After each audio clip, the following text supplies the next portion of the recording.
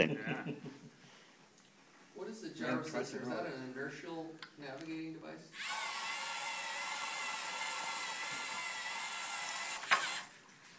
Whoa, whoa.